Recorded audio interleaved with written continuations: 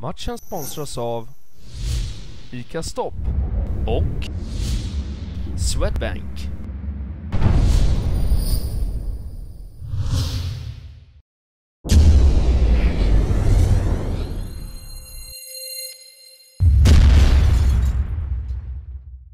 Välkomna till eh, Träkvistavallen och eh, mötet mellan Ekerö IK och Viggan. Och med oss idag har vi Christer Holmstetter och idag återigen eh, bortamatch. Och eh, Viggan vann ju senast mot Farhem. Är formen på väg uppåt tycker du? truppen är på väg att hela så det är väl bra. Även om det är fortfarande en massa spelare borta, men truppen är på väg att hela så vi känner nog att vi, är lite på gång. Ja, och om vi går in på spelarna då. Hur har du formerat laget idag? Det blir lite annorlunda då, eftersom vi saknar de mittbackar som vi kanske har trott skulle spela från, från början i alla fall. Så att Jasson är fortfarande skadad. Nu är en ny skada i foten och Johan är borta av andra anledningar. Så det blir lite nytt då. Men Tom gjorde det bra förra gången och det, där spe- spelar han idag också då. Och sen får han spela med Viking Pettersson som, som gör sin första match där på rätt många år, men det är en klok spelare så det är lugnt. Mm, och eh, forwardsparet, är det 4-4-2 idag? Ah, ja, jag skulle säga 4-3 i det offensiva spelet och kanske 4-2-3-1 uppställning i det defensiva. Så Johannes spelar en som var topp och blir lite nytt centralt och Marcus kunde ju spela centralt med Mixten. Ja, låter bra. Lycka till idag då, Tack, Christer. tack. tack.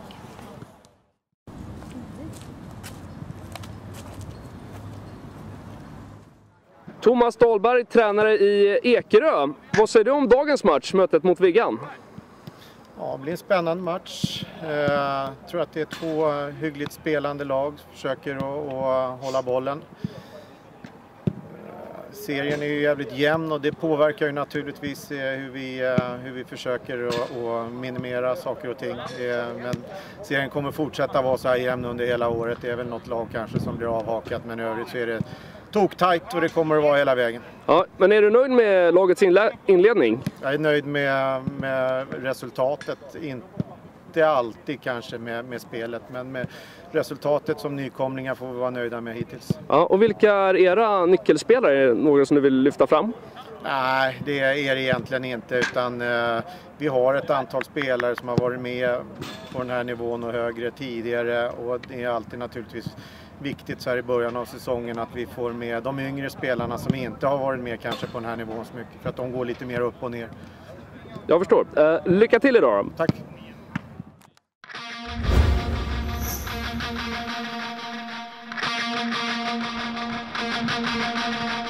What a magnificent save! And it's 1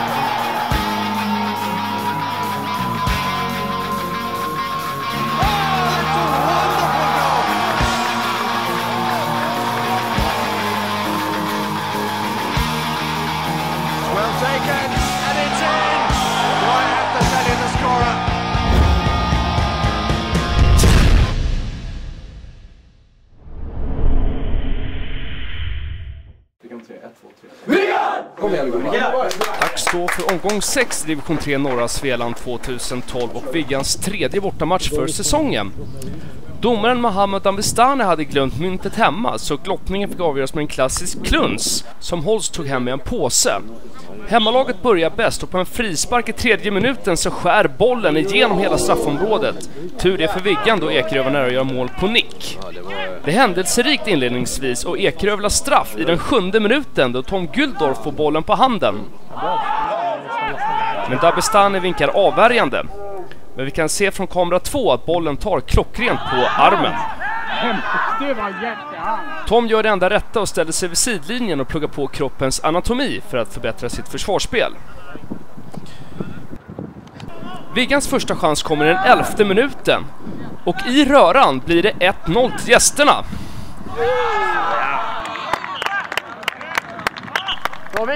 Gladast i Viggan är Göran Dahlberg som med ett hopslag med en Ekerö-back får in bollen i mål. Men officiellt så klassas målet som ett självmål.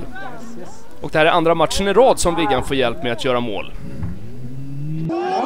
Men glädjen blir kortvarig för Viggan, för redan på avspark i den tolfte minuten så kommer kvitteringen till 1-1. En långboll lyfts på Jimmy Sur. Och han bröstar ner till Kristoffer Lås. Och det är en riktig pärla som betyder 1-1.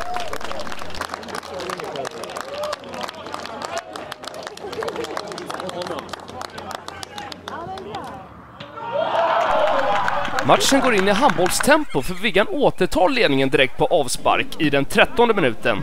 Holst lyfter ut till Johannes Lahtinen som tar sig förbi sin spelare och domaren lämnar fördel. Och i mitten gör Niklas Jonsson 2-1 till Viggan.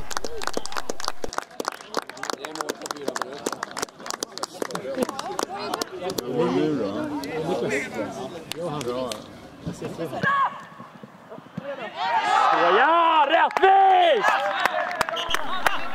Viggan gör sin bästa halvlek för säsongen och man fortsätter sätta press på Ekerö. Inkast från Johannes. Och bollen kommer så småningom till Marcus Mild. Hans nick är välplacerad men inga problem för Jonathan Nyman i Ekerö-målet. Viggan-hörna från Göran Dahlberg som nickas bort men bollen hamnar hos Christian Freby som klipper till. Men säkert agerat från Jonathan Nyman. Mot slutet av halvleken tar Ekerö över allt mer och här får Petri göra en mycket bra räddning. Halvlekens sista chans går också den till Ekerö, men Petri kan göra en tippning på en hörna. Och 2-1 till Viggan efter den första halvleken. Johannes eh, Lahtinen, vi leder med 2-1 i paus. Vad säger du om den första halvleken? Det är mycket långt. Känner att vi måste säkra boll mer på mitten och inte slå långt varje gång. Spela mellan alla lagdelarna. Tycker vi har koll på deras långbollar. Det är väl det. Lugna ner oss lite. Spela runt. Vi leder ju. Ja, snygg assist också på eh, vårt 2-1 mål. Ja, kom runt bra och fick in den bra där till Niklas som kom på en bra löpning. Kändes skönt att göra 2-1 direkt efter deras 1-1. där. Ja, kör hårt nu i andra halvlek. Och Viggan och Johannes Lahtinen kör hårt i inledningen av den andra halvleken. Efter två minuters spel på en Ekerö-hörna så kan Viggan kontra. Marcus Mild spelar fram till just Johannes och han kommer fri.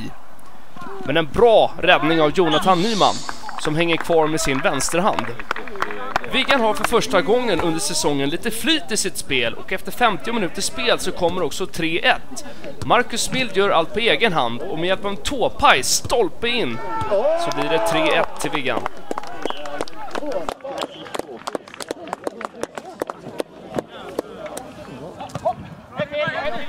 Viggan vill ha en frispark i första läget men domaren Davistani låter spelet fortgå och Marcus avslut är ju distinkt.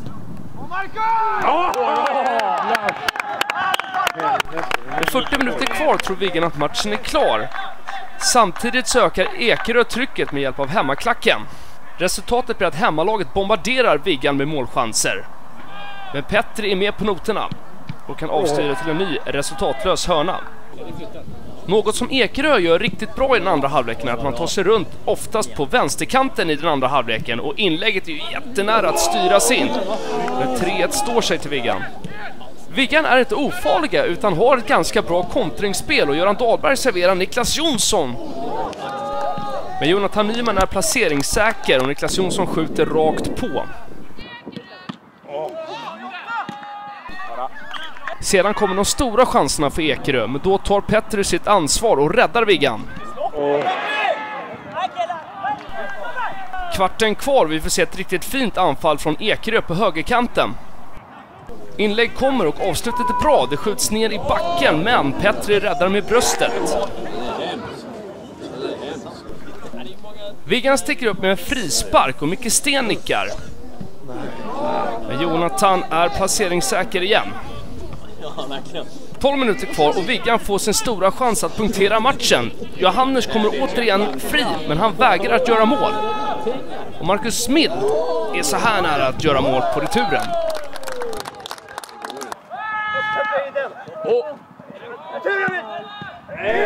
Leo Fjällstad kommer in och Ekerö vill ha frispark då han går hårt åt i den här situationen. Men spelet fortsätter och Ekerö avslutar. Men man träffar fel nät. Två minuter kvar av matchen och Martin Brogren byts in för att stänga matchen. Viggan är nära sin första bortaseger för säsongen och det blir naturligtvis nervöst bland spelare och ledare. Åh, Vad menar du Tom? nej! Tom, för helvete. På slutet försöker Viggan hjälpa Ekerö då Micke Sten rensar ut på vänsterkanten. Och inlägget är bra, men skottet går precis utanför. Brage lyckas med sitt uppdrag att stänga matchen. Fel inkast och det går några sekunder på övertiden. Domaren Mahabad Dabistani blåser av matchen efter 90 minuters spel och Viggan vinner alltså med 3-1 emot Ekerö. No way. Way of the day.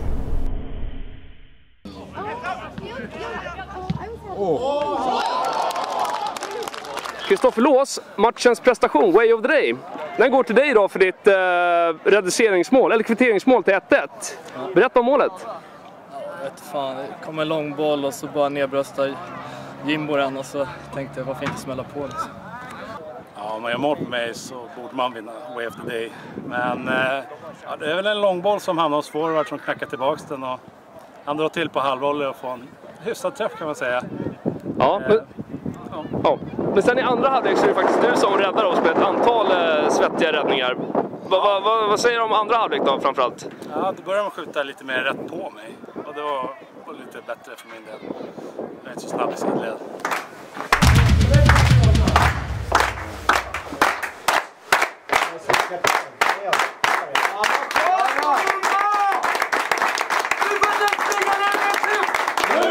Hurra!